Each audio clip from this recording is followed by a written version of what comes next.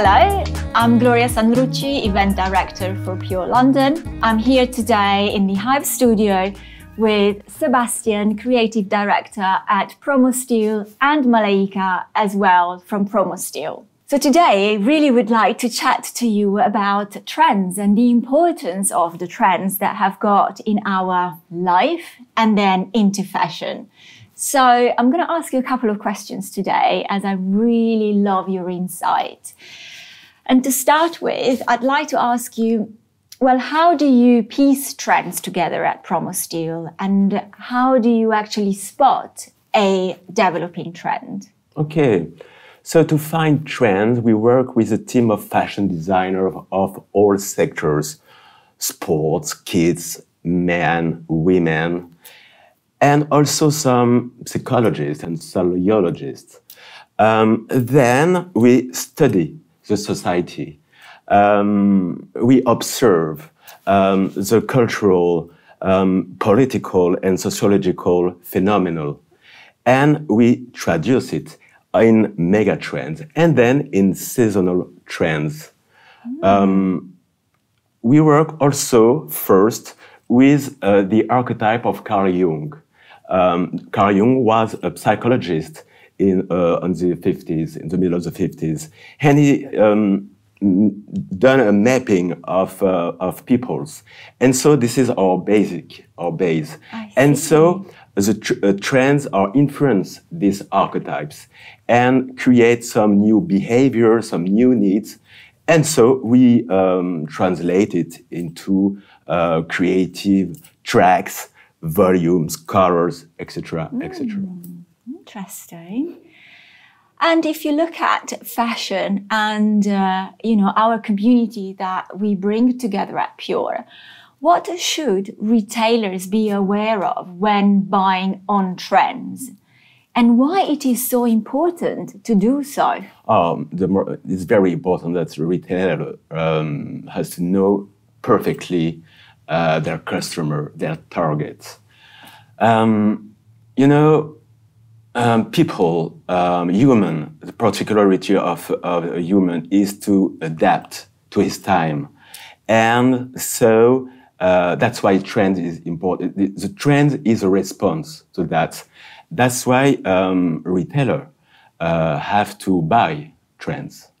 That's great. And because I guess then if the retailers buy according to what the consumers actually want to see in their shops, then that retailer will always be relevant, yeah, isn't it? Absolutely. I mean, it's, it's just like, um, when working from home became kind of like the normal way of life you could see that in the shops you still had the work suit going on, but with a way yeah. more casual touch yeah, to it. So you're gonna have the blazer at the top and like maybe kind of the tracksuit at the bottom. That's basically me today, for yes, instance. Yes, yes. Um, or when we started needing more comfort and, and everything like that, we started to see a lot of like puffer jackets, gigantic coats, very soft and light fabrics. So that's pretty much it. Like when you're buying, try to take into account how your costume has maybe evolved like compared to the previous season mm. and focus on the needs of what they're actually looking for and what they actually want and you can just go from there absolutely and there's also yeah one last point there's also now in our day and age focus on the values of your customers as well because we've in fashion we're trying to become a bit more conscious mm. a bit more ethical so it has become a huge part of buying. If if you're not thinking about this when you're buying, you're kind of making a bit of a mistake.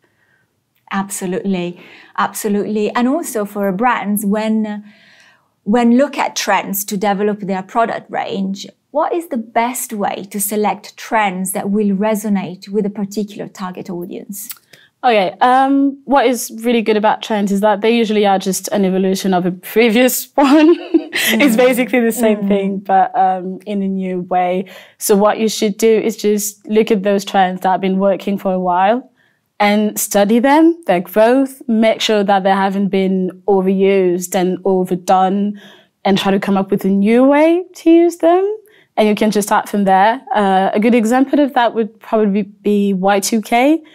That kind oh, of yes. like, yeah, it kind of kicked off as a joke, but it was like just full nostalgia. And now you can see, I think for like four seasons straight now, you've seen people like experimenting with it all around in all types of ways. Um, but yeah, yeah, just that. Just take the trends that exist, make them evolve, focus on like the details that are important in them and go from there, basically. And then you can just make it work for you. Very exciting and so fascinating, so interesting. What you guys do at Promostyl is really something that um, really is important for our community and what a lot of our content that we will develop and uh, our audience will be able to find at Pure next season will be about trends. Yes. And I am very delighted actually that we have um, selected and chosen a particular trend for autumn winter. Uh, well, the show will take place next February from the 12th to the 14th, but the trends that you guys are going to present are the trends for the year ahead. Yes. So that will be autumn winter 24 slash 25. Yeah. And we have actually chosen a trend, um, nobleness, that is actually inspired by what you guys do at Promostyl. Um, and nobleness will be the key theme that will be uh, filtered throughout the show next February. Can you tell us a little bit more about what is nobleness, the trend nobleness, without disclosing too much? Yes, obviously. there is a back of tradition and, uh, and the British savoir-faire. Uh, all over the world, you know, not only in England, but all over the world, because um, you are the owner of this savoir-faire. Mm. Um, yeah, yeah, it starts there for sure. So, which is why it's probably very interesting that you guys uh, went for that one, not even knowing that the UK were kind of like the basis, uh, inspiration. Um, the other good thing about Nobleness is that it doesn't just stay stuck in the past and on the classics, but it's kind of like revisiting those.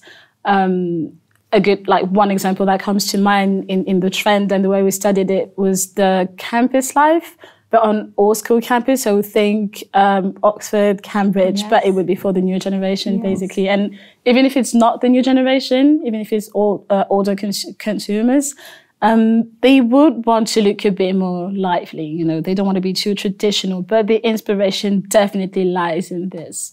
So you're obviously gonna have like you know like the classic, for instance, Chanel suit or stuff like that, or you're gonna have like blazons of houses and, and very, very much signs of um, riches and status that included in there, but what just way younger. Thank you, Sebastien. Thank you, Malaïka, for joining me today here at the Hive Studio. And thank you, everybody, for joining us today.